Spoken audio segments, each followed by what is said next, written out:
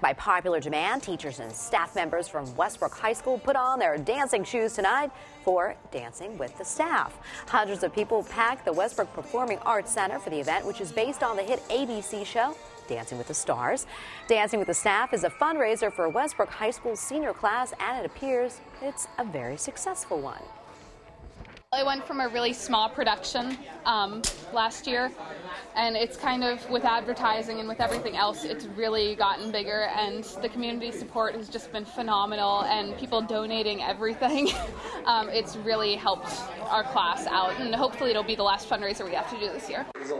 News 8 meteorologist Paul Janis, there he is right there, MC the event tonight.